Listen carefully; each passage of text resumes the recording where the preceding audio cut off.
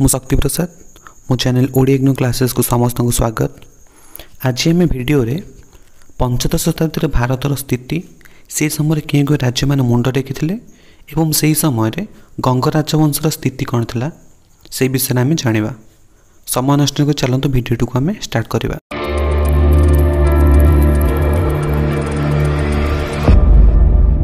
ଦ୍ୱାଦଶ ଶତାବ୍ଦୀରେ ଭାରତ ଉପରକୁ ଆକ୍ରମଣ କରିଥିଲେ ମହମ୍ମଦ ଘୋରୀ। ତାଙ୍କ ପରେ କୁତବୁଦ୍ଦିନ ଆଇବାକ୍ ସୁଲତାନ ବଂଶ ପ୍ରତିଷ୍ଠା କରିଥିଲେ ବା ଦାସ ବଂଶ ପ୍ରତିଷ୍ଠା କରିଥିଲେ ସେହି ସମୟରେ ଅନେକ ଛୋଟ ଭାରତୀୟ ରାଜ୍ୟମାନେ ତାଙ୍କ ଆଗରେ ସମର୍ପିତ ହୋଇଥିଲେ କିନ୍ତୁ କେତେକ ବୀରତ୍ୱର ସହିତ ପ୍ରତିରୋଧ କରିଥିଲେ। କଳିଙ୍ଗର ଗଙ୍ଗ ସାମ୍ରାଜ୍ୟ ସେତେବେଳେ ବର୍ତ୍ତମାନ ଓଡ଼ିଶା ଏବଂ ପଶ୍ଚିମବଙ୍ଗର ଦକ୍ଷିଣ ଅଂଶ ଏବଂ ଆନ୍ଧ୍ରପ୍ରଦେଶର ଉତ୍ତର ଅଂଶକୁ ନେଇ ଗଠିତ ହୋଇଥିଲା। ଏହିଠାରେ ଗଙ୍ଗ ରାଜବଂଶର ବିଭିନ୍ନ ଶାସକମାନେ ଶାସନ କରିଥିଲେ ସେମାନଙ୍କ ମଧ୍ୟରୁ ଚୋଡ଼ଗଙ୍ଗ ଦେବ ନରସିଂହ ଦେବ ଦ୍ୱିତୀୟ ଭାନୁଦେବ ଇତ୍ୟାଦି ପ୍ରଧାନ ଥିଲେ। ସେମାନେ ଦୀର୍ଘ ଦୁଇଶହ ବର୍ଷ ଧରି ଓଡ଼ିଶାକୁ ଏକ ସାର୍ବଭୌମତ୍ୱ ଭାବେ ବଞ୍ଚାଇ ରଖିଥିଲେ। ନରସିଂହ ଦେବ ପ୍ରଥମଙ୍କ ସମୟରେ ଗଙ୍ଗାରାଜାମାନେ ସେମାନଙ୍କ ସୈନ୍ୟବାହିନୀରେ ହାତୀକୁ ଯୋଗ ଦେଇଥିଲେ। ସେହି ସମୟଠାରୁ ରାଜାଙ୍କୁ ବା ସମ୍ରାଟଙ୍କୁ ସେହି ସମୟରେ ଗଜପତି ବୋଲି ଆଖ୍ୟା ଦିଆଯାଇଥିଲା।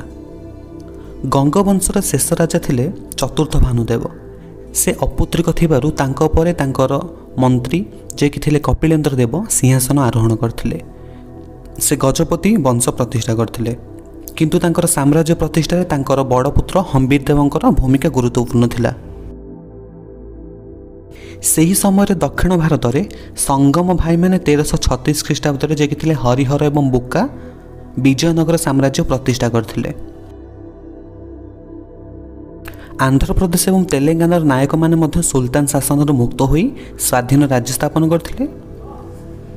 ସେହି ସାମ୍ରାଜ୍ୟରେ ସେମାନେ ରେଡ୍ଡିମାନଙ୍କୁ ମିଶ୍ରଣ କରାଇଥିଲେ।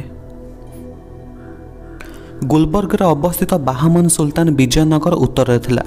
ଏହାର ଶାସକମାନେ ସ୍ୱାଧୀନତା ଘୋଷଣା କରିବା ପୂର୍ବରୁ ଦିଲ୍ଲୀ ସୁଲତାନଙ୍କ ଅଧୀନରେ ଥିଲେ।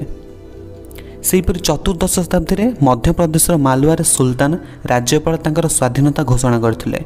ବଙ୍ଗଳାରେ ଇଲିୟସ୍ ଶାହା ରାଜବଂଶ ଚତୁର୍ଥ ଶତାବ୍ଦୀରେ ଏକ ସ୍ୱାଧୀନ ରାଜ୍ୟ ଭାବେ ଆରମ୍ଭ ହୋଇଥିଲା।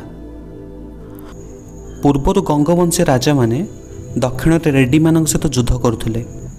ଏହି ଯୁଦ୍ଧର ମୂଳ କାରଣ ଥିଲା ସୀମା ବିବାଦ ପାଇଁ।